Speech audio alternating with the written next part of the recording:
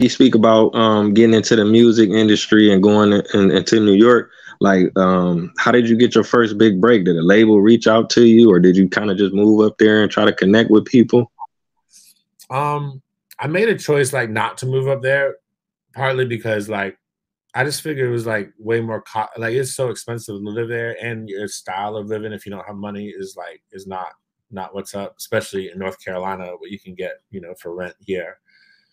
So I I decided, you know, I'm just gonna buy a plane ticket once a month and go crash with family or friends. So I, that's what I did for like a couple years. I just went once a month. I told everyone I'm here, did all my meetings, and then um I and it actually worked to my advantage because people are like, oh, we got to catch them now. You know, unless I was like living there, I don't think it would have been as um, productive actually because I came back to North Carolina around the trees, space, you know, and then made made all the music, and then went back up and shopped it. So um, uh, you know, back to your question, my first big break was winning the the beat battles in New York City in front of the music industry. Um, Fatman Scoop was actually the first like real industry meeting I had. Um, so one of the someone connected me with him because they thought you know my style was so hype.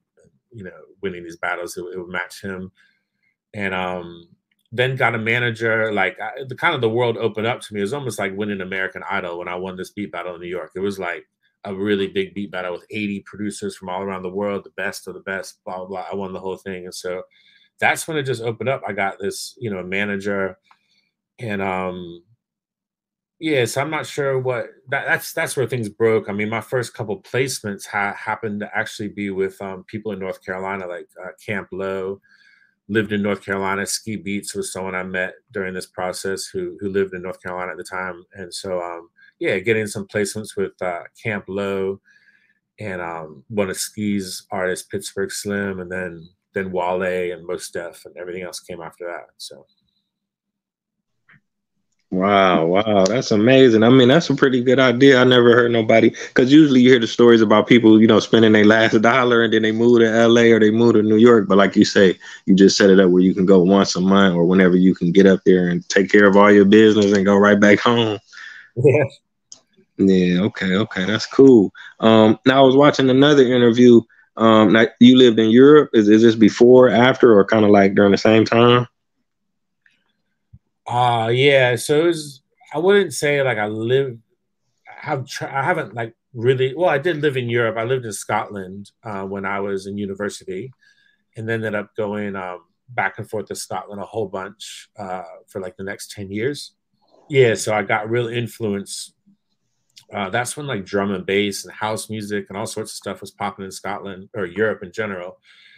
And over here in America, like that was just not not what's not what people were trying to hear. It was either like rock or hip hop, basically. Like if you went to um, if you listened to house or electronic music, you were like a really weird person that put like face paint, went to some all night rave or something like that. So I mean now it's really normal, but back then I was like, this is wild. Normal people just go listen to house and drum and bass in the clubs, and that's what they do over there, you know. So that that ended up, I think, one of the biggest reasons I actually won these battles, these beat battles, and popped in the industry is because my influences were coming from like yeah that european style of dance music also from like the 80s and 90s rock and roll music where I saw everyone else was getting influenced by like 70s soul music. It was like everyone was influenced by that only. And then I was influenced by this all this other stuff. So my beats just hit in a whole different way. And so I was I, I knew that was a difference I had. Plus being a drummer, I could put a little like drum solo in something, you know, in the in the middle of a beat, just a little bongo break that I just played myself, you know. So I think those those things set me apart. And that's what that's what ended up being the difference.